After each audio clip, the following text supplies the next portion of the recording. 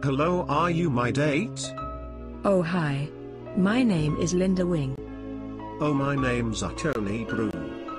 So tell me about yourself. I'm about 23 and I like smoking crack a lot.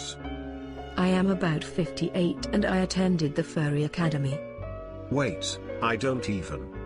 What is wrong with you? I just said Furry Academy. Screw this, I'm out. Ha ha. D-bag.